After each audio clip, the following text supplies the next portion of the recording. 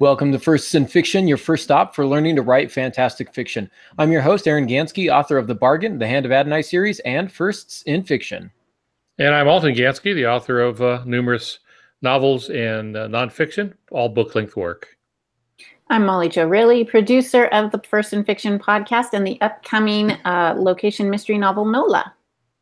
And a reminder to those to those of you listening to the audio only version, you can catch us live at 5:30 p.m. Pacific Standard Time every other Tuesday right here on YouTube uh, or at aarongansky.com where you can follow along in the chat room and say things to us, preferably nice things, but really, I mean, come on, you can say what you want to say. It's a chat room, right? So uh, if you just uh, have some sort of a beef that you want to bring up with us, you could do it there, or you could say, "Hey guys, nice job."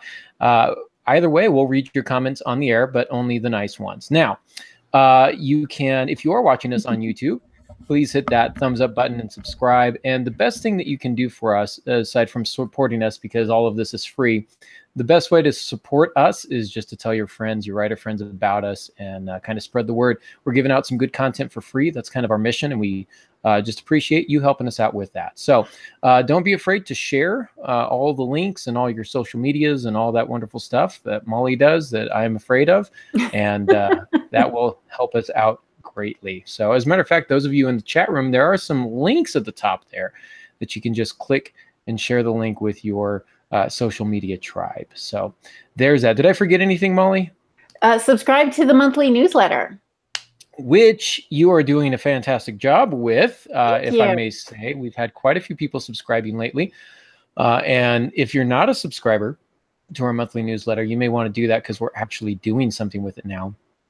And by we, I mean Molly is really taking charge there and putting together some some good products. Uh, yes. Just sent one out today, correct? Yeah, yeah, there was one that went out. Uh, actually, went out at midnight last night, and uh, I worked on it until about eleven fifty six last night. So I was oh, awake goodness. when it when I got the Mailchimp that said it's been sent. So hooray for that!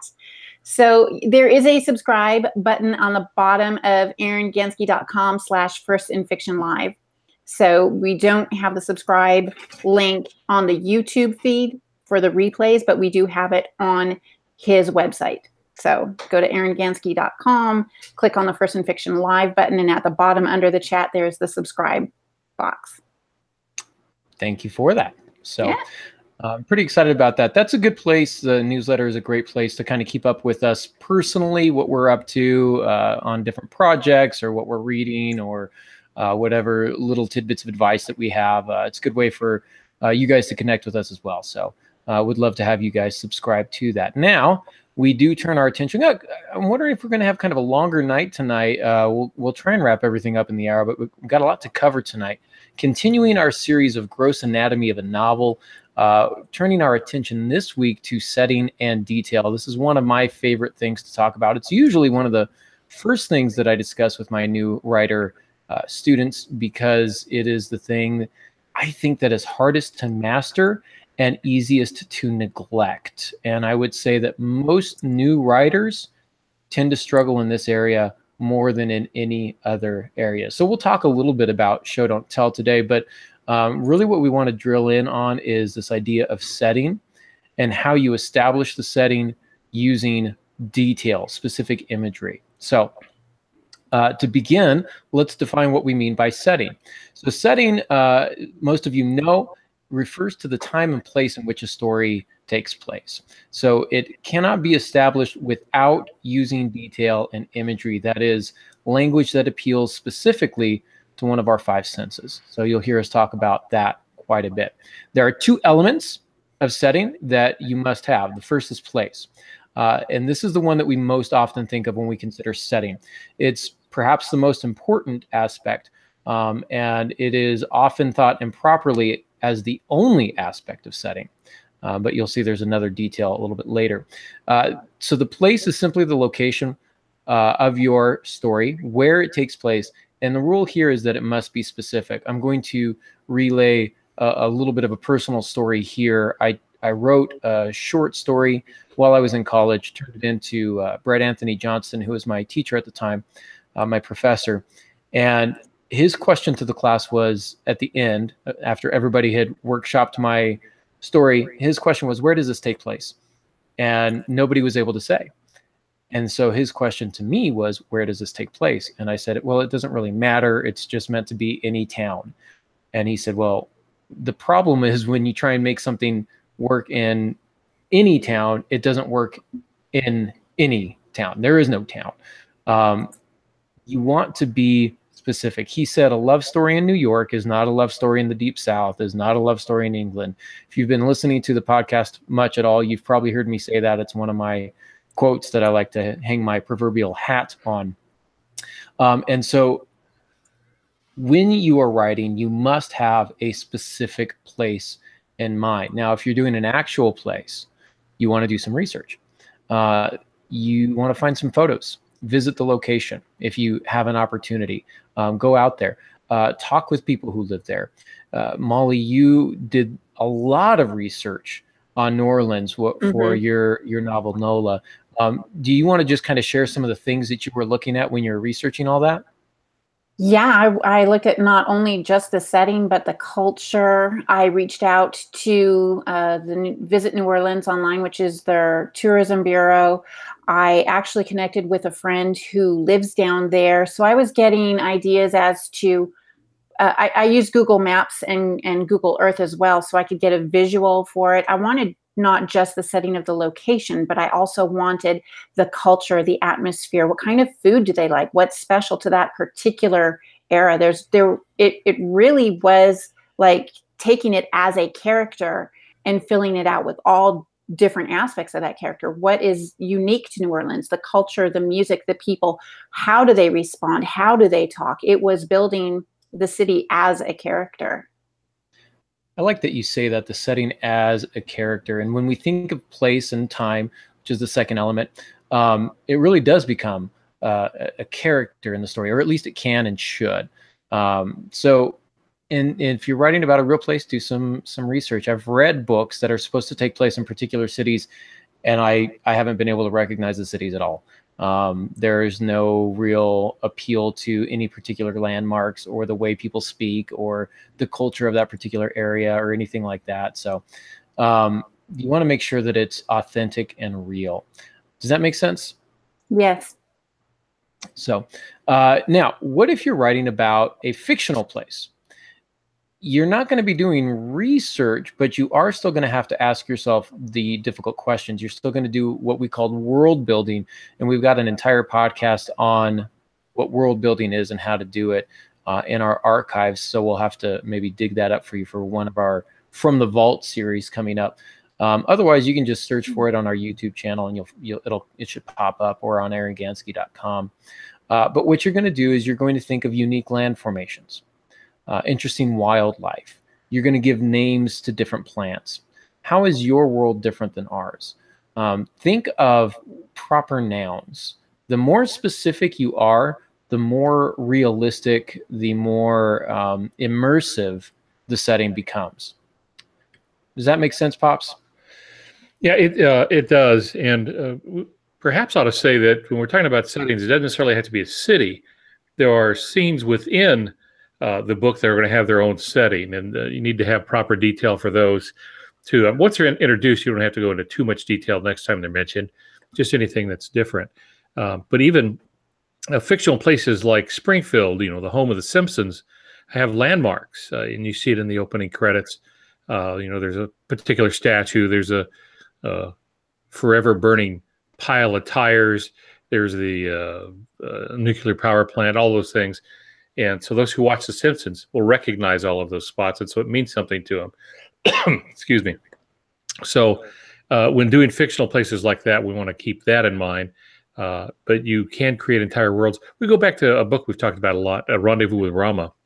The mm. whole setting is on this gigantic spaceship that is uh, uh going to be passing uh, by Earth, and it's it's got an entire uh, ecosystem inside of it uh, and very detailed, uh, but very foreign to the reader. So all that had to be properly described. And fortunately, Arthur C. Clarke uh, doesn't mind taking a lot of time to describe stuff. Yeah, but you got a very uh, clear vision of it, as well as some of the science that made it possible. And on that note, uh, you did a ton of research for your J.D. Stanton series. Well, really for for most of the books that you write, um, but I'm thinking specifically the J.D. Stanton series, um, A Ship Possessed, uh, Out of Time, those types of things where you have a, a Navy captain on uh, particular Navy ships of a particular era um, that are so well described that some of the people who served on those ships sent you letters. Is that right? Yeah, that's true. I did a lot of research on World War II submarines. Um, uh, Gato and Balao class uh, submarines because a lot of the scenes took place either on uh, the deck of the submarine, and the old World War II submarines had a deck. Uh, they're not the we're not the real rounded ones we get with nuclear subs. So a lot of it took place on the deck and then uh, below deck, and uh, so I had to know what those things looked like. So I toured World War II subs. I did as much research as I could with books on the internet photos. But the thing that helped me the most was uh, I think I toured uh, two or three different uh, uh World War II submarines that had been turned into museums. So I could go through and I could see where people slept, how much room there was. Uh, I even uh, toured a, a Russian submarine one time. And boy, that was tough duty because those things are horrible inside. Um, mm. it's, it's amazing that they didn't get killed by the, the stuff they had mounted to the walls. but it's a very unique environment but even then, and this brings up something about setting, uh, uh, a submarine is divided into areas. There's officer country, and that's where people with college degrees and where officers in the submarine would do their work and uh, where their sleeping quarters were. And you work your way back through the submarine, and the education level goes down. So if you're the very uh, uh, the stern end, the very back in the machine room, uh, the engine room, you're probably an individual that doesn't have a lot of education. Uh, and so the way they talk is different there than the way they talk at the uh, front of the boat. So it, uh, yeah, did that with, with submarines and uh, with uh, other places too. Hmm. Absolutely. Which brings up like an, an interesting thing. The, the second thing that we want to talk about is the time period that your story takes place. And so pops the, the, the submarines that you looked at were World War II era. And so you had to get the dates right, which submarines would actually be around and in service at this time, those types of things. Um, you know, a, a, love story in New York in 2018 is not a love story in New York in 1918. Um, and so you want to consider that as well. Uh, it's going to have a pretty profound impact on your story, whether it's in medieval England, um, where you have castles and knights, or a love story set in the deep south in the 1920s or during the 60s um, those types of things. It's it's going to be different. It's going to have a profound impact on your story. So how how does it have an impact on your story? Usually in terms of conflict um, this kind of brings up this idea of circumstances. The world war ii those are the circumstances. It's a time period and it's a circumstance. It doesn't matter where your story takes place during world war ii the world was at war. And so it would be really ridiculous to set something during you know 1940s america where nobody talks about the war. That wouldn't make any sort of sense. Um, so keep in mind what types of circumstances are going on in the location that your story takes place at that particular time. And again this could be fictional. It could be you know uh, middle earth during the reign of you know King whatever. I'm I'm sorry, I, am not up on my Lord of the Rings. I apologize. Um, you know, before Sauron uh, took over the first time, or or whatever it is. These are the types of circumstances that are play into your story. So you want to establish the time period again by using specific detail. You're going to hear me say that a lot tonight. Uh, how do you do that? This can be seen in fashion. Think of anything that F. Scott Fitzgerald wrote. Um, he took a lot of time describing people of particular fashion sense and what they were wearing. And um, you could tell a lot about a character based on what they were wearing, how much money they had, those types of things, what they valued, uh, how much industrial development there is. Um, you want to do some research to make sure you're being accurate. Again, if you're doing any sort of historical novel, um, you got to You've got to get the details right because if you don't, you are for sure going to hear about it. And if you don't get the details right, more often than not, it's going to cost you a, an opportunity at a contract. Um, if you're writing about 1920s America and you know the notorious gangster Bubba McBigfoot, uh, you know him. Uh, oh, he was a bad guy. Oh, yeah, bad. Yeah, you know, if he pulls out his cell phone to make a call, um, we've I'm got seriously laughing. I'm sorry. I think if you name somebody Bubba Bigfoot, we have a problem already. Uh, no, it was Bubba Mick, but Bigfoot. Oh, my mistake. Then that Scottish. just changes everything. It's a tiny Scottish. Bigfoot. yes, it's the uh, it's the Scottish mafia. Um, okay. Um, you know where they meet and eat haggis, where they discuss who's going to get uh, who's going to get strung Look, up. Carry on. I don't know. All right, moving on. So, uh, does that make sense there, pops? you know, it does. Um, but now that you mentioned haggis, uh, if, if you're going to insert that in the story, you need to know what haggis is and why no human being should ever eat it. Hmm. Right. But nonetheless, it's a delicacy there. But that's the kind of details that will trip people up. Uh, I remember Jack Cavanaugh telling me one time that uh, he got in trouble. He did a lot of historical work, and one of his uh, biggest curses was making sure uh, if in the time era that he was writing whether or not people tied their shoes or, or buttoned their shoes. And oh. in, in, one, uh, he had mentioned that they had tied a shoe, and that wouldn't come around for another ten years or so. Uh, he was still in the era of shoes that were buttoned, uh, so he had to keep track of that. Uh, and it's it can really throw you off. I don't know if you've ever seen an old western where they weren't real uh, consistent about um, continuity and you'll have the uh, good guys, the sheriffs and the posse chasing down the bad guys, and in the background you can see high power uh, lines uh, running across yeah. the, yeah. landscape. You know, maybe a freeway. Uh, every once in a while, those would sneak in there. You're thinking, nah, somebody has uh, missed something in all of this, and it knocks the people out of the story. That's why it's important. So, when you talk about time, you're, uh, you're you're teaching a good thing here because you do have to keep that in time. Now, with like the Great Gatsby, which Gap, Gatsby, uh, which you were mentioning earlier, um, uh, he lived during that time, the author. So, you know, he was writing contemporary stuff, as was Thomas Wolfe and the like. So, true. Um, so th- they didn't have much problem with keeping the time correct. But if I were to write about it, the 1920s, I've done a lot of research in the 1920s, I would have trouble. Yeah. I would go back and get books written in the 1920s about the 1920s and see what they say and uh, catalogs and stuff like that if you can get them. Some of you can get them online. Yeah. Hmm. So, what do you do, Pops, when you're trying to establish a setting, be it fictional or, or non-fictional? Do you have any tips or tricks? Well, I've done uh, I've done several things. Um, you know, uh, first let me say this: some people keep a notebook on this. That's really a good thing to do. Is write down these details. So if you have them buttoning shoes, and you need to maybe make a note of that. Um, but if you're t- in setting, if you're talking about certain streets and you change the name of the street, you need to write that down uh, so you don't get confused. And I used to collect pictures of floor plans, things like that, uh, to jog my memory uh, when I had to describe a setting, let's say in a large house, a mansion, and then we're going to be in one of the bedrooms. What does the bedroom look like? And having photos of that helped me. So if they were, if it wasn't a place I could go and take photos, then uh, sometimes you'll find this stuff online or in magazines. Excuse me here. uh, but I've done several fictional towns, and I find it's very helpful to start with a real place. So some of the fictional towns that I've created are really based on uh, actual uh, small towns. Ridgeline, uh, in my Ridgeline Mysteries, uh, suspense mysteries, is a California mountain town. I based the physical description mostly on Arrowhead, California. But if I wanted to add a, a certain street if I needed some other landmark there, I could put it there. It didn't really matter. I just had to make sure that I made note of it. But that's based on a, an actual uh, city, Arrowhead, California. I did the same thing in my Maddie Glenn suspense mysteries uh, in Santa Rita, California. Santa Rita, California is really Ventura.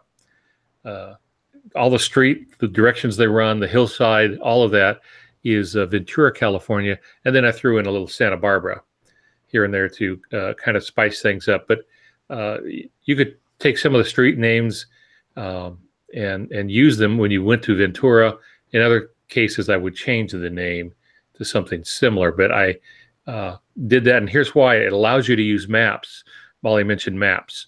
Um, mm-hmm. Maps are great for writing, uh, and there's nothing wrong in taking a real city and you can change the names. Just write it on your map, uh, or if you're using an online um, thing and uh, I'm going to suggest that you do that. Use Google Maps. And when you do, there's a little yellow man that will appear. And mm-hmm. if you mm-hmm. drag the little yellow man over to a street, it will put you in street view. That is as though you're standing on the street and you can spin 360 degrees and see all the buildings that are there. Uh, good number of yeah. years ago, I did a, a, screencast on using Google. And when I talked about uh, Google Earth and using Google Maps to look at those things, uh, I use as an example uh, one of my books uh, for wounds, uh, the book Wounds, where I wanted some of the crimes to take place and where the detectives were going to be and stuff like that. And I could, from uh, my computer, go to that place in San Diego, see the kind of trees, what the uh, park benches look like, how far the ocean was, how did the sidewalks run around this particular uh, oceanside, bayside park. I could see all of those things. Uh, you could take screenshots from them, um, mm-hmm. and you know, print them out, make notes. It's uh, incredibly powerful, very useful, and it'll also keep you on track. So use Google Maps, learn to use it well, and it will be a, a big time saver for you. It's a great tool. It's yep. a great resource. I did that uh, when I in in writing Who is Harrison Sawyer, um, and I had them moving through the the country. They were on the run, and so I had to find you know particular places in particular cities and what did it look like and how are they getting in and out of the building and those types of things. Um, I did it uh, a little bit with uh, some other books as well. So it's a pretty common thing for me to do. It's very useful. Um, and we can't always get out and visit the places that we're going to write about. And so it makes more sense to mm-hmm. be able to, to do that. Um, I've also done fictional towns as well. Um, I've had my students draw maps of their fictional towns just to try and keep everything straight. Um, giving, you know, having them name particular places. Uh, you'll you'll hear me talk about that later, but the specific nouns and the proper nouns go a very long way for establishing a setting. So, um, how do we do this? Well, I like to think of um, setting in in context of if I'm a playwright. If I'm going to be writing a play, I've got to be able to talk with the producer and the director and, and figure out what props we're going to have, right?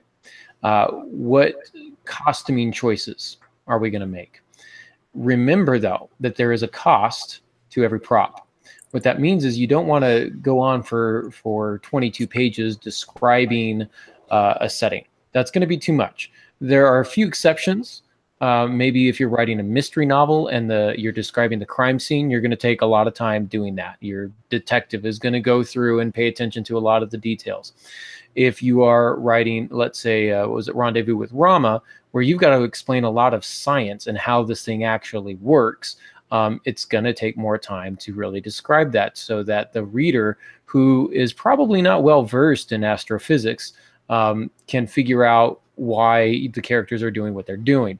Uh, so think about that. What props are important? Do you put a vase on the table?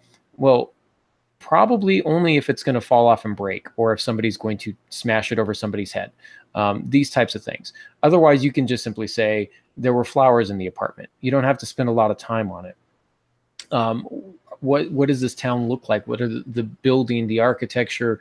Um, what does the backdrop look like for the the artist who's going to paint that? Um, if you if you want it on the stage, you've got to put it in there. You've got to use that detail. Does that make sense? Yeah, very much so. Uh, if you spend too much time describing something, then the reader will assume it's going to be uh, important. It's part of the establishing shot. Uh, you know, when you watch um, mysteries on television or suspense, you'll see a gun hidden in a drawer. Every time you see that, you know that gun's going to play a role. Uh, otherwise, there's no sense in showing it. Uh, mm-hmm. But you do have some freedom to set up what a house looks like, um, you know, what the dining room looks like, what maybe is on the table of the dining room, uh, but make sure that it says something, that it furthers the story. So you can populate things with items as well as with people, and you can populate some of those scenes, uh, but only give uh, any kind of uh, special attention to something that's going to play a role later. Don't do it too much because then you're telegraphing. Just make sure that it's clear at the at the point of first mention. Basic rule of thumb is the more time you spend describing something, the more important it becomes to the reader. Yes. Um, and if they get to the end of the book and you've spent 22 pages describing a vase on the table and nothing ever happens with that vase, they feel that you've wasted their time. Um, and that's not where you want to be. Um, there are some exceptions to that rule, but um, that's, you know, very, very few exceptions to the rules. Speaking of rules, um, I've got some rules for setting. I know you're wondering when is Aaron going to give us his rules for setting? Well, now is the time. Now, again, whenever we talk about rules, we're going to put rules in quotation marks here. Um, rules are meant to be broken. There's always exceptions to the rules, blah, blah, blah. But these are pretty good rules of thumb or guidelines, if you prefer that term, uh, for establishing the setting in your story. Uh, the first thing that I, I say is that all stories must take place in a specific time and a specific place, both of which must be relevant to the characters and the progression of the prose. It's not in the show notes, but I keep coming back to this idea. You've heard the expression, I imagine, you can take the cowboy out of Texas, but you can't take the Texas out of the cowboy. You guys heard that expression? No, never. No, uh uh-uh. What are you talking about? Feels like sarcasm. That feels so like sarcasm. sarcasm radar is going off right now. Uh, accurate, accurate radar. yeah. So, uh, but that that really speaks to the point. Your characters are products of their environment. They are they take on characteristics of their environment. What's uh, socially acceptable in some parts of the country are not socially acceptable in other parts of the country. So keep that in mind. How has the setting shaped your character? Not just the place, but also the time. Um, setting another rule, rule number two here setting must be rendered with as much specific, relevant detail as necessary, which might vary from, from scene to scene. Uh, proper nouns help set the scene and create familiarity or strangeness. Um, please don't talk about the hardware store.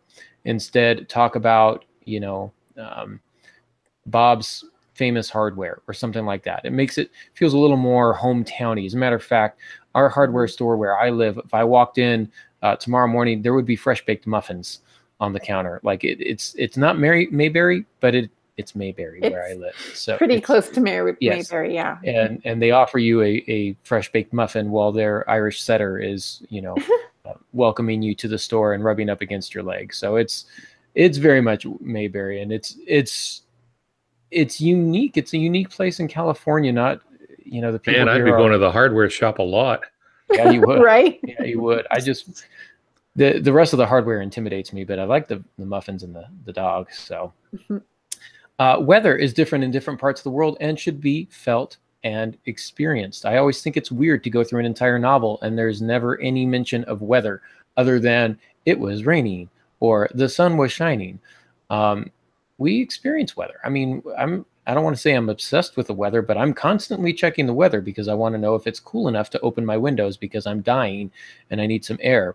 Um, so we we have weather. It's hot in the desert. It's dry in the desert. It's no fun in the desert. Um, but you know, out in North Carolina, it's a little bit cooler. It's more humid, that's for sure. Um, but they also have plants, and I like that. I don't get a lot of that in the wait, desert. Wait, wait, they have what? Plants and grass. Uh, I had to do some research to figure out what the green stuff on the ground was. I thought it was some sort of mutant dirt, but that's uh, that's the mold, right? That grows in strips. Yeah, yeah, that's what it is. So okay, um, just but checking. don't don't neglect the weather. The reader, if you're writing about Antarctica, the reader should feel cold, and they should feel cold throughout the entire novel um, unless there's a warm fire, and then you can let them be warm a little bit. But, uh, but I want to interrupt here on this because yes, you need to pay attention to the weather, but you can overdo it. In my first draft of Nola, how many times did you and Alicia tell me stop saying how humid it is? Because my character every page was, wow, it's warm, wow, it's humid, and varying degrees of wetness and dampness in the air. Um, you can leave reminders.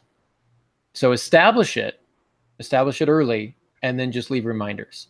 You don't have to, you know, remind them every single page, but somewhere in the scene, maybe remind them with just a quick line somewhere. Um, can you overdo it? You absolutely can. And I would say most writers who are, you know, I would rather have a, a new writer over write and overemphasize setting than to not emphasize it at all if that makes sense because it's easy what really what you're doing as a writer when you're describing something and you go on for at great length describing it, what you're doing is looking for the right description. The best writers are going to go back through, find the right description, and get rid of everything else. But sometimes we don't get it right away. So we have to practice. And so when you've got a, a, a, scene that is really establishing it, just go back and trim it up a little bit. Keep the one or two best descriptions and then move on. Does that make sense? Yes. You know, Dean Koontz is great with uh, weather, especially with rain. Um, and some of the in this middle part of his career, some of his descriptions are just fabulous. Um, one I remember is he's talking about a heavy rain and it silvered the road. Mm. The word silver, yeah, he he verbified it. It silvered the road, and I thought, man, that's one of the best descriptions because I could see the the glistening of the water mm-hmm. on the asphalt. Uh, and so he he's done that with several of his stories where weather plays an important role. Uh, is book lightning. Um, this and so he makes really he makes that kind of environment, uh, the weather, the climate, uh, a character. Uh, Odd Thomas does that because they're in a desert community, and uh, and you really get a sense, a feel for the desert. Kind of feel dirty at times, um, and the the blowing wind and stuff that uh, that you really have to put up with now. Um, that I put up with for so many years. Um, what's what's the line? There's two days a year when the wind doesn't blow, and this isn't one of them. Mm-hmm. Um, yeah.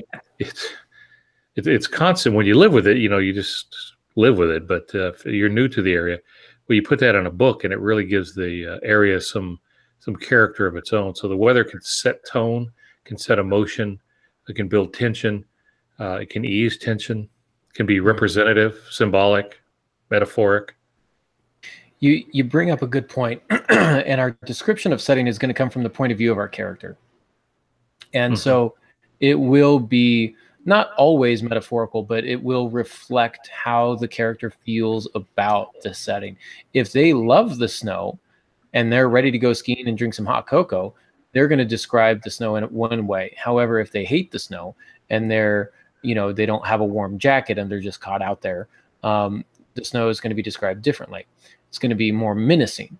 Um, and so consider that you're describing the setting from the point of view of your character. And you, it's funny you mentioned Dean Koontz because when I read that, I just felt right at home. I was like, yeah, yeah, that's yeah. that's about it. So, uh, another rule here setting is always experienced with at least three of the five senses, and sometimes all five. This is where you really want to think mm-hmm. of show, don't tell. Again, this is my quotation marks rule. Um, do I always follow it? I try to.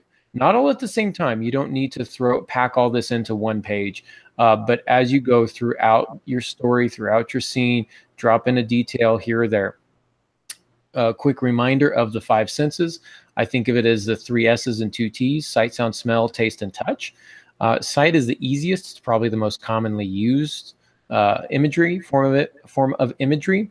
Um, but what you really want to think about is not the blue sky, because this might shock some of you. The sky is blue everywhere. So please don't talk to me about the blue sky. It's it's I've seen it. I know it. I, that's let's get to something different and unique. That's really what you want to focus on. What's unique about this setting? What sets it apart? Um, the sunset behind the river, igniting orange diamonds on the surface of the rippling water. You know, something like that. Um, and even in that, that's just a quick thing that I came up with. Uh, it says the river. My rule is use specific nouns. I would want to name the river. The sunset behind the Yaganoga River. I don't know what that yeah, is, but you know, um, and that's going to make it a lot more interesting. Uh, so there's some, you know, some there's a metaphor in here, and I'm trying to describe kind of a beautiful, relaxing type of a setting. Uh, sound.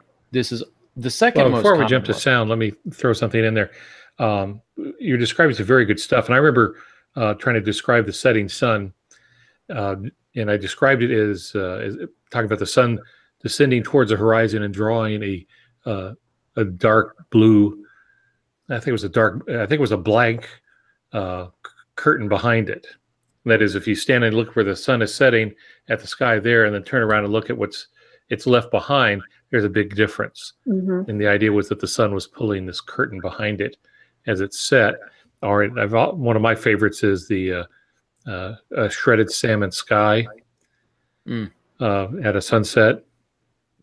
The word, yeah, the word shredded right there, and and the the color salmon. It's different. It's not just pink. It's salmon, and yeah. so that's different and unique. And guess what? It's also specific, right? It's a specific shade of pink, and so I think that's what's really that's where you're earning your keep as a as a writer. There is with those that fine choice of words. I, That's all I, I had. Mean, oh, okay. I was like, I feel like I cut you off. no, no, I was I'm waiting done. for more. So, all right. So, sound is the second one. Um, again, this is the most second most common. Um, and why is sight the most common one that people write about? It's because it's the easiest. We're a very visual uh, species. We like what we can see. Um, same thing with sound. These are the senses that we most rely on to navigate our world. And so it's what we most often, dis- which is fine to a certain extent because, again, the reader is going to be able to interpret through the senses of sight and sound. However, the the real drawback is that these become cliche very easily. And so it's hard to describe new sights and new sounds in unique and memorable ways. For every shredded salmon sky that we see also i like the alliteration triple points there because there's three s's. Um, you know there's there's uh, the sky was light blue there's probably a hundred thousand of those and that's just mm-hmm. kind of it's kind of boring. Um, and so you want to clean up the boring, get rid of the boring, and and keep the spectacular, keep the stuff that's really going to make that's going to stick in the minds of your readers. So, uh, how do you do sound again? Something specific, unique, and memorable. In the early evening, cicadas called to each other in their humming, buzzing language, interrupted only by the occasional car driving past on the country road a mile south.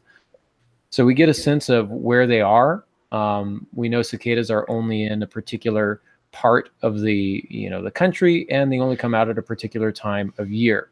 And so that level of specificity, um, as well as the onomatopoeia, since we're describing sound, humming, buzzing language, um, kind of gives us a little bit more there. Does that make sense? What kind of onion? Onomata onion. On, yeah. On. Oh no. End of tomato. Edgar Allan Poe. I A.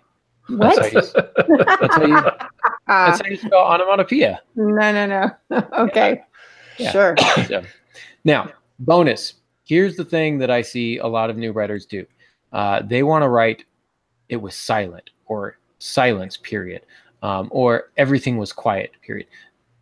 It's really hard to appeal to the sense of sound by saying that there was no sound, right? It's about as exciting as saying everything was black that's not super exciting. Now it feels like I'm sleeping. Am I sleeping? Is that what's going on? So instead, what you want to do is you want to find the quiet noises that become that announce themselves in those moments of silence, perhaps conversation, um, when there's a, a, big reveal or something. So, for example, um, someone says, "I'm pregnant, Jim." The ceiling fan hummed overhead. On the wall clock, I'm sorry, on the wall, her Hello Kitty clock ticked and ticked and ticked. Somewhere, a dog barked. Say something, she said. So what you're doing with this is you're you're getting it's kind of a two for one. Number one, you're saying that it's silent without actually saying that it's silent. Number two, you're giving us that quiet moment so the reader is experiencing that quiet moment and just because we're having to read so many words we understand that time is passing and that Jim has not said anything to uh, this other character's big reveal. Right? Does that make sense? Yeah, it really does. It's uh, you're letting the reader experience the wait when you do something like that. Hmm. it's a great thing to do when you can. Uh, when you say "I'm pregnant, Jim," and then quickly switch to the ceiling fan hummed overhead, that tells us that he hasn't spoken. Then we hear another sound on the wall. Her Hello Kitty clock ticked and ticked and ticked. Okay, and that raises a sense of frustration with that. Somewhere a dog barked. All this time he hasn't responded yet. Then she says, "Say something," and then that verifies our suspicion, and mm-hmm. we know mm-hmm. there's a problem. It's a it's a simple technique. I say it's simple. It's actually challenging when you have to sit there and think, what would they actually hear? Um, it's but it is a fairly simple technique, but it's a really powerful one.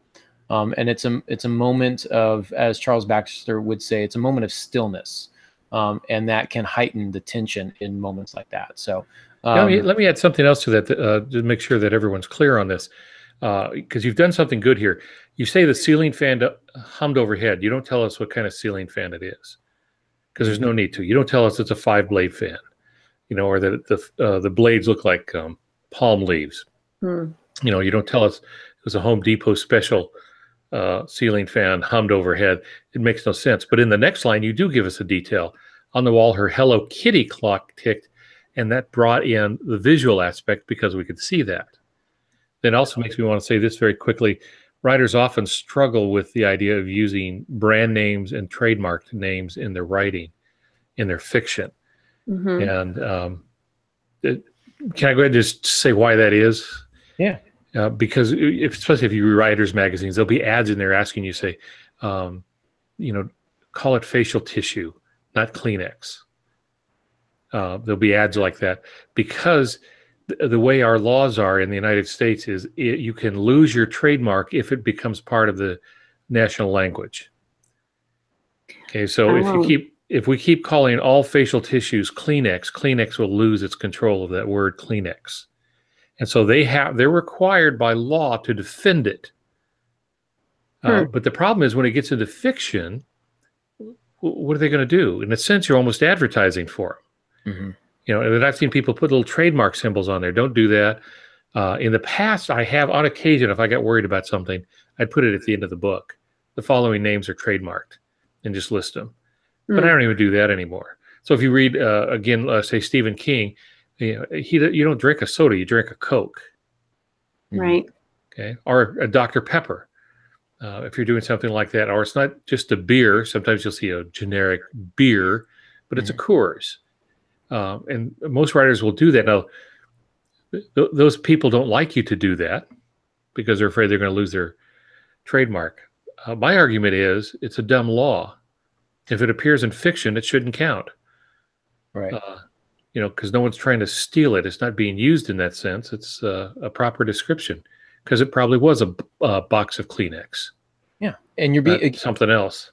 You're you're being specific, right? Right. Um, but I I did that kind of instinctively, and I think the reason I didn't leave the brand name of the ceiling fan is you're right. It, it's not important to the character, but the Hello Kitty clock is more important to the character. Mm-hmm. Um, and so it I don't say what kind of dog barks because they wouldn't be able to know. Um, if I had established this dog lives next door and it's an annoying little chihuahua or something like that, I might say the annoying ch- chihuahua barked next door or something like that. But for the most part, I just borrowed that from Kurt Vonnegut. The somewhere a dog barked. It's from Slaughterhouse 5 mm-hmm. uh, but you know, it's it was just something to to again show as you say, pops the weight. I don't know if you meant the W A I T or the W E I G H T weight. Uh, it's a little bit of both, maybe. It's a little bit of both. Well, I think I was referring to the fact that she's having to wait. The yeah. character you introduce is having to wait. Therefore, the reader has to wait. Mm-hmm. But and in also, the process of doing that, you created an emotional weight. See, that's where I was going. You got there before I did. No, wait. No, okay. All right. So moving on quickly. Uh, the next one, smell. This one is often overlooked, and which makes me sad uh, because it's really closely associated with memory. Our sense of smell is very closely associated with memory. For example, if I talk to you about the smell of rain, um, when you smell that, it it brings you back to a particular time uh, when you first noticed the smell, perhaps. Mm-hmm. Um, at mm-hmm. least it does for me because I live in the desert, so I don't get to see it a lot um, or uh, you know some a particular smell of walking past. Oh man, when I at work, we had my last job. There had some there was some sewage problems there, and so you would walk past a particular part of campus, and there were some pretty powerful smells there. Um, and what happens is, even though we don't often think uh, to describe how something smells, it's really, really powerful and memorable. Uh, here's an example. The earthy, oily smell of wet pavement was replaced by a warm vanilla scent when she entered her grandmother's house. There are pretty there are probably fewer descriptions that are going to be more powerful to establish a setting than smell. Um, you can immediately make a setting feel comfortable and inviting, like warm vanilla scent, or um, overwhelming, um, nauseating, terrifying, those types of things, just by describing the sharp iron scent of blood or whatever else it might be. Um, those are really, really powerful types of descriptions. And the same is true for taste. We don't talk a lot about taste because it seems weird. Like, how do you, how does taste establish setting? Do they look the concrete? Um, no. well, but, they did in New Orleans a few times. Not my characters. I'm just saying. mm-hmm, mm-hmm, right. Uh, but the, then, if we go back to New York, uh, thinking of particular uh, foods that are common there, mm. like New York pizza is, you know, established as a kind of a a part of the city. Um, in NOLA, there's uh, what is it, beignets and uh, mm. Cafe du coffee. Now everybody's going to log off and, and go get beignets. Not without me. Um, Take me with you.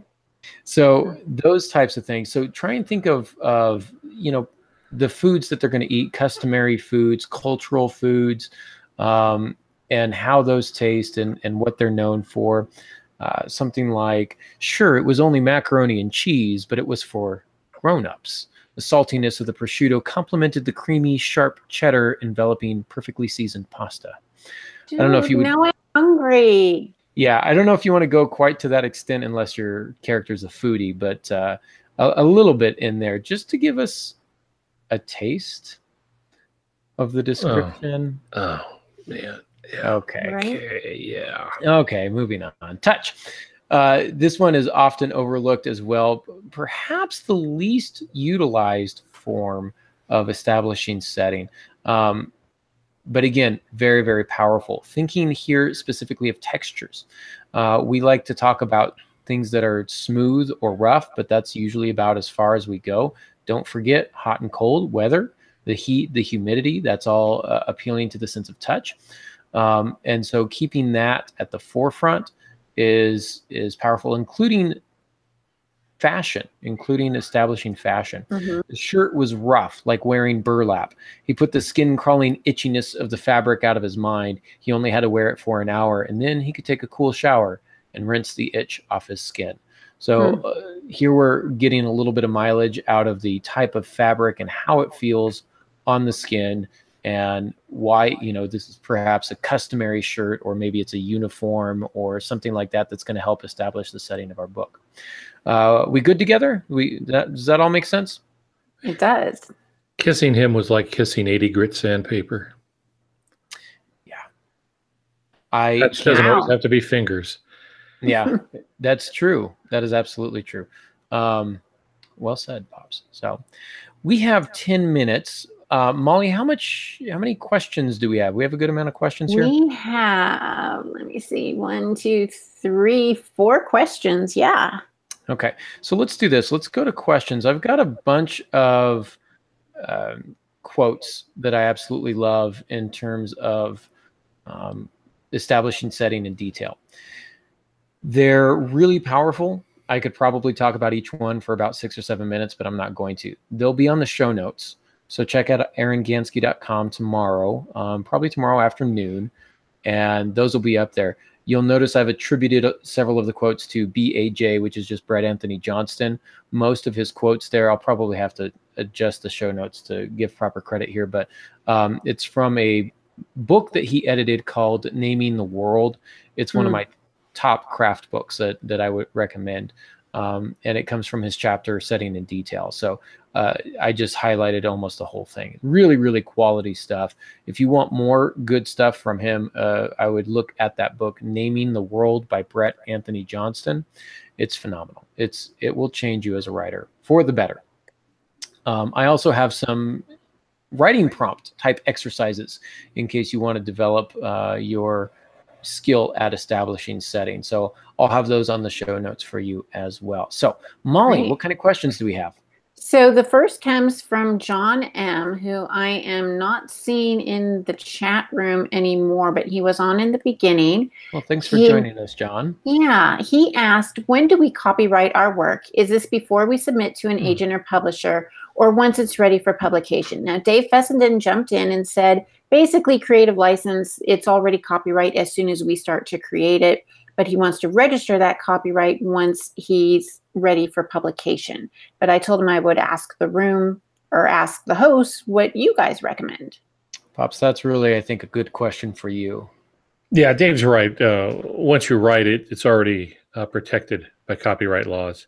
Uh, now, some people used to uh, take their work and mail it to themselves, tape the envelope shut, mail it to mm-hmm. themselves so it'll have a date on it and not open it uh, to be able to prove that the, the work is theirs.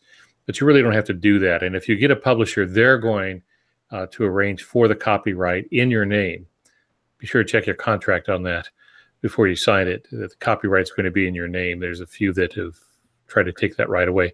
Very few. The uh, professional publishers know that the copyright uh, will be in your name, and it doesn't matter much to them because you're granting them the right to publish it anyway. For well, until it either stops selling or they release it, put it out of print, and return the rights to you, which is a whole other topic. But uh, so it you really don't have to send in for copyright. I don't think I ever have. Uh, all my books that have been published of uh, the formal copyright has been filed by the publisher. And I think if you're really concerned about it, um, I, I, don't know that it's really a valid concern, but I think if you if you are really concerned about it, uh, try emailing a digital copy to yourself and then just keep it in your email. Mm-hmm. Um, that kind of accomplishes the same thing as as mailing it to yourself. Um, so I don't know, but again, I, I don't really think it's going to be that big of an issue. So I, I I wonder if that question comes from a place of what if somebody steals the novel that I'm working on. I'm writing a novel. I'm afraid somebody's going to steal it. It doesn't really happen. Number one. Number two, I wouldn't share it with anybody. Um, mm-hmm. And I especially wouldn't share it with anybody I didn't trust. Um, so right. I, I've never, that's never been a concern for me because I've never been sharing my work or publishing my work. Um, digitally publishing it. Of course, even then, if you digitally publish it, say on a blog, and you want to do it like serial style, uh, just publishing it on a blog is going to be it's going to you know basically be copyrighted from from that i i believe am i pops to well technically I, and i think uh, uh, dave could probably give a better answer uh, as an agent once you once you write it it is already uh, under mm-hmm. copy protection mm-hmm. um, if somebody wants to steal it they have to prove that they wrote it uh, and that's a very difficult thing to do now, it, there's been right. a few cases like that with screenplays that I know of, where someone c- claims that the idea for a screenplay was stolen. That's a little different ball game. But for uh, for books, for uh, magazine articles, and most people who have any common sense aren't going to steal uh, someone else's creative work mm-hmm. because it gets very expensive to defend that. Right. Fair enough. That makes sense. So I asked the room if they set their stories in real or fictional locations. And Sophia Hansen said hers is fictional and on a different planet, but she describes kelp and seaweed using those same words, kelp and seaweed. Does that work? She also said, I'm sorry, she also said she has alien words, but she tries to use them sparingly. I'm okay with it. Um, I mean, at some point, you're writing for your audience. Your audience knows what kelp and seaweed are. Um, I don't think any reader is going to go, well, that's they wouldn't call it kelp. Um, I think it's a good shortcut. Uh, if you want to be super crazy, you could call you know the blue kelp if you want to make it like different or stand out, or if you want to make it uh, even more specific, the Trasconian kelp, blah blah blah. And so you can go a long way with world building by again throwing in some specific types of um, things that are just a little bit different. For example, in the Hand of Adonai series, I've got the cerulean forest, uh, in which, or the cerulean woods, I'm sorry, in which um, the haspis wood, there are haspis trees, and the haspis trees have blue leaves. Mm-hmm. Um, and so, you know, it, it's a tree it's got black bark and it's got blue leaves. So there you go. But it also has different uh, in in my fictional world. It also has like pine trees and next to some of the fictional trees. So it's I think you're okay with it. Yeah, I was a little divided on it because uh, my first thought is, yeah, those are pretty specific English words, um, and I could imagine a reader saying, uh, "Would they really use that, or is that breaking the fictive dream?" But when you really get down to it, you're writing a whole book in English anyway. Mm-hmm. All right. So you want to give a hint that some of these things are really not of this planet. You want to maintain that part of the fictive dream. Um, so if you feel like the word kelp is going to uh, break that fictive dream, smash it, then I would uh, put on my imagination hat and come up with a different way of doing it. Mm-hmm. Maybe by you know description, uh, and then you know, or that was used as a, uh, for food, you know, which we use kelp for all the time, among other things. And uh, you you could probably do that, but that is always a tough thing in fantasy. Um, you know, so so if you're in Middle Earth here, we're going to go back to something Aaron said earlier. Um, what are the weapons they carry? Do they have shields? Mm-hmm. Do they call their shields something else? Do they have swords? Do they call their swords something else? Um, you know, they, they talk about their feet, you know, so there comes a point where it, it just gets ridiculous uh, with that. So I would say probably you're okay with it. Um, but if you could be a little more creative, uh, you can do a nice little show instead of uh, telling uh, about it. Uh, it might even be better. All right. I agree. I told her that I think as as a reader, we need something we can identify with to spring from. So if we can have some kind of form of what's our reality, and then what you were saying, Al, then and, and Aaron, then develop it into something different. But we need that commonality, that identity up front in order to know exactly what it is. Otherwise, she's going to spend page after page of describing something that we have no idea what it is or what it's like. Yeah. You have to be creative with it. Mm-hmm. Mm-hmm. Caleb Walton is in the room, and he says both of his works in prod, I, his WIPs. Why am I not thinking work in Works progress? In progress both of his work in progresses are set in generic settings, and he's having a hard time deciding on a setting. What are some suggestions on how to decide, and how much should he expect to have to alter it, af- alter the plot as a result? I'm sorry, I was typing something in the room. I missed the first. I noticed that. I'm, I'm so, so, sorry. So, that's really Aaron, Aaron is yeah. Okay. He's he's writing two separate stories, and they're generic. He they, he doesn't have them in a particular setting. He's having a hard time deciding on the setting. So, what are some suggestions on how to decide, and how much should he expect to have to alter the setting or alter the plot as a result of becoming more specific with his setting? Okay, the plot will dictate the setting. Yes. And so if, if there's going to be a bank robbery, there's going to be a bank. Going to mm-hmm. be a mm-hmm. train robbery, there's going to be a train. So the setting is going to be set on a train or a bank or whatever it is that you're doing there. So it, it's hard for me to conceive of, of having a story with some action but no setting. Usually you have the setting first. Um, I mean, you know something's going to happen, but then you put it in a setting, then you let the action uh, take off from there because that setting may change some of the action and then you'll be in, in your second or third draft and, and having to make big changes with it. So uh, every scene has a setting. Mm-hmm. It, yeah, it has to. And so what I would say, Caleb, is you already know what you want your setting to be, whether it's a fantasy world or a science fiction world or small town America or big city America. Um, you have whatever generic setting you have in mind you've probably been writing with that in mind. So I would say the next step is to just drill down on some more specifics. Do you want it to be fictional or real? What one better serves the story? Um, if you want to make it fictional but base it on a real town, okay, that's fine too. Look at some maps, change some names, um, whatever whatever you need to do. Um, how much is your your manuscript going to change? Um, it, that really depends on how much time and effort you put into establishing the setting. But um, usually, I would say that, especially if you're writing genre like science fiction or fantasy, there's a lot of world building up front, and so you would probably be able to count on a pretty solid rewrite of your opening chapters, but um, subsequent chapters may not be as um, as heavily altered, if that makes sense. Um, I hope that answers his question. Yeah, and it, uh, I try to inject myself uh, more and more later in my career. I began to do this, where I would stand with my characters in my mind. Our imagination is our tool. That is the thing we most have. It's our superpower. It's our cape.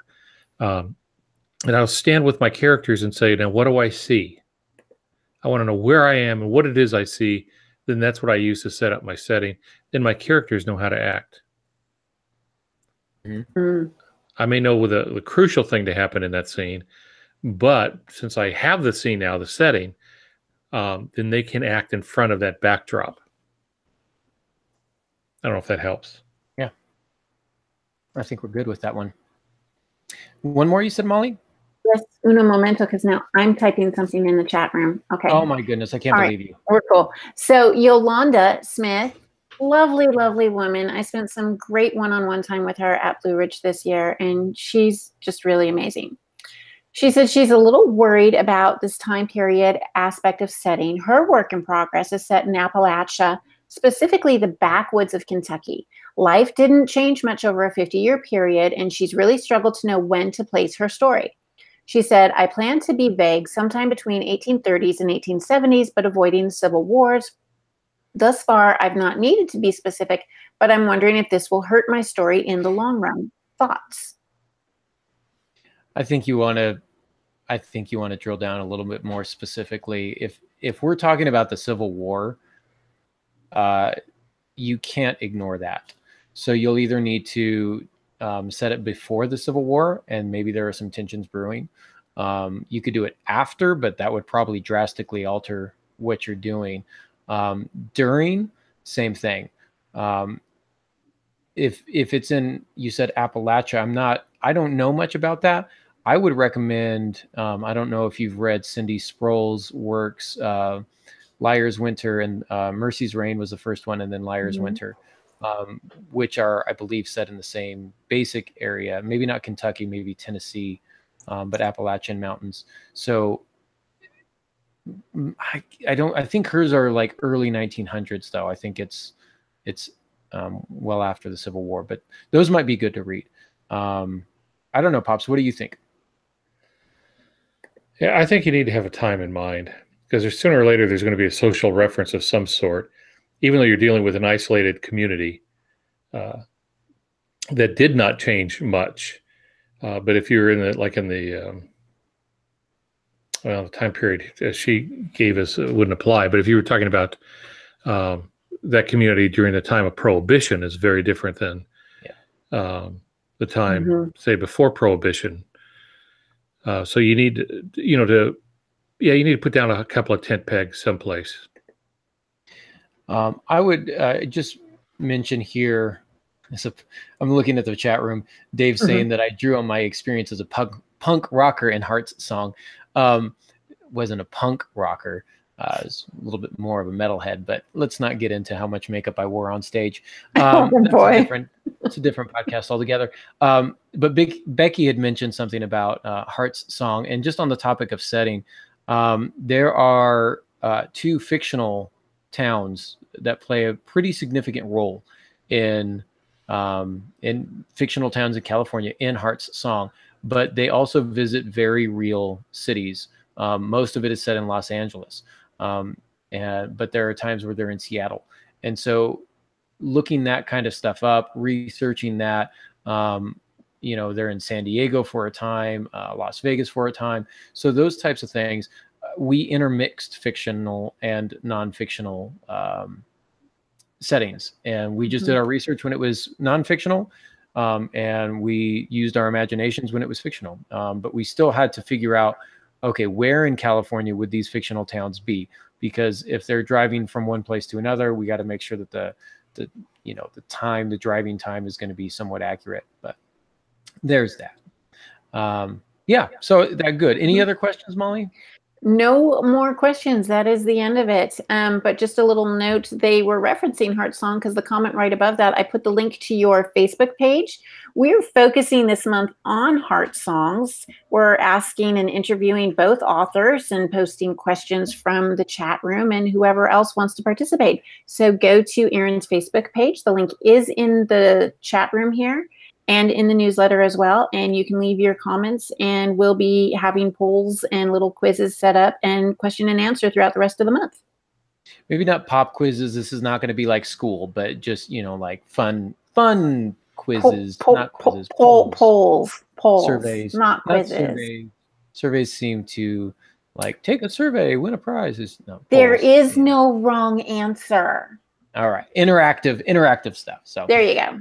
Yeah. Well, uh, that is about what all we have for this week. Pops, anything else before we sign off?